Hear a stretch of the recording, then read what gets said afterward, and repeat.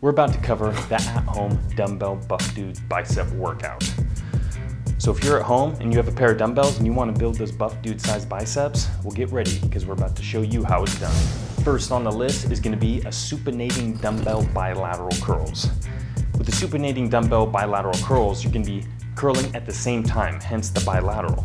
With the supinating, you're going to be really pulling those palms to top position, supinating up, palms, pulling the pinkies into the shoulder, getting the complete contraction in those biceps.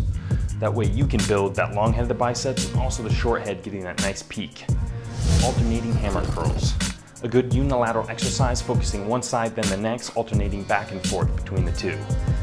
What this is going to be focusing on is going to be the extensors in the forearm and also the brachialis and brachioradialis and also the biceps, particularly the long head. So it's going to be building that nice size in those biceps.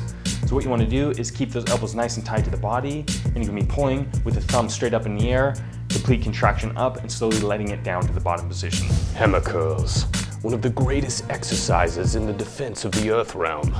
Is this mortal worthy, father? He's a buff dude. Of course he's ready. Ah, yes. The bench concentration curl. This is really gonna help take the shoulder completely out of the equation, help focusing and isolating the biceps as much as possible. So what you wanna do is turn that camping cooler on the edge. In this case, it's gonna be our bench, and you're gonna be supporting the back of your arm on the flat side of the bench.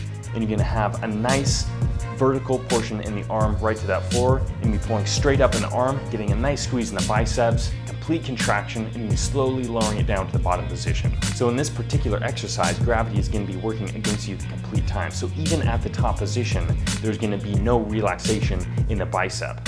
So it's gonna be complete contraction throughout the whole motion or time under tension. It's gonna make it that much harder. So you're gonna be getting a nice contraction on the way up. Gravity's gonna be pulling that weight down the whole time and gonna be slowly lowering it down for the eccentric contraction, help carrying those muscle fibers up and building those biceps as much as you can. Zottman curls.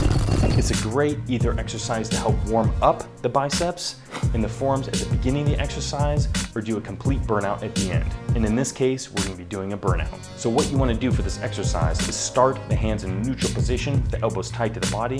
You're gonna be supinating the palms up, getting a nice squeeze in the biceps, and you're gonna be pronating them down so the palms are facing the floor and getting a nice, slow, eccentric contraction down to the bottom position. So it's utilizing both heads of the bicep, it's getting a little of the brachioradialis, it's also getting the forearm extensors and flexors as well. So it's a great complete arm exercise. So there you have it. We just completed the at-home Buff Dude dumbbell biceps workout. So next time you wanna build those biceps, just grab a pair of dumbbells and start curling. But one thing is, you might just have to cut those sleeves off because you're about to get some sleeve busters. That's right. Buff Dude style.